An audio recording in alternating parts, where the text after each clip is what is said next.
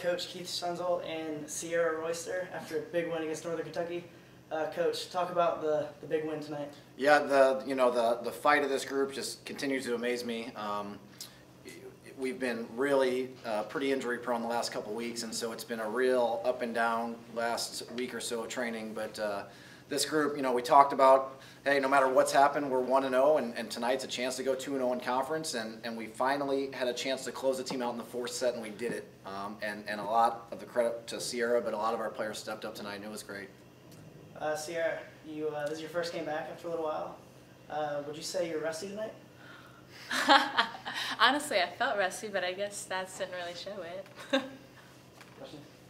Can you, Cierra, how, how, does it feel to be back out on the court after some time off? It feels amazing. I've, it's it's a feeling that you can't really describe. Just being out there with people that you love and love to play with and compete with. It's it's rejuvenating. It's refreshing. It's it's fun.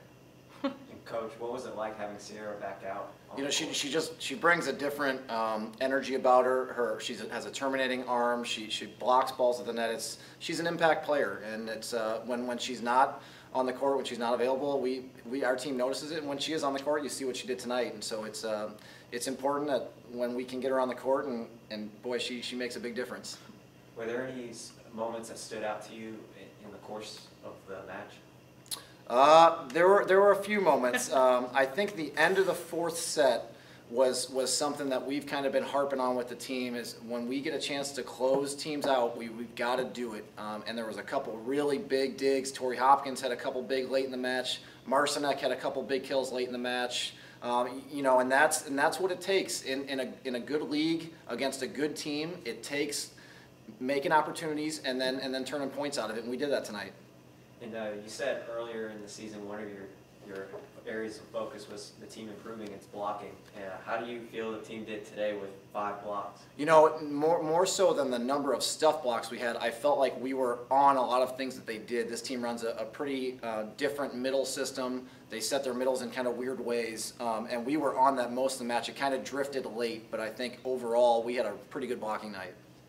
And uh, Kelly Marcinek uh, coming off a tied school record uh, with kills last match. Uh, how, how's it, how does it feel to have a player such as Kelly Marcinek, night in, night out, continue to produce at The, that the, the thing that makes Kelly special, and, and C has a, a, a piece of this too, is that there's something about players like that that they absolutely hate to lose, and there's just this edge and this chip on them that it separates them from other people. And, and Kelly's not the best athlete on our team. Um, I'm not even sure she hits the ball the hardest on our team. She just has there's something about her that when it when it gets to that point of the game, or when we when she knows we need a kill, she just turns it up another level. Um, and and similar to Cierra, you know, they're it's hard to it's hard to find players like that. It's hard to know that you're getting players when you recruit people, but but Kelly and C are two that are definitely like that.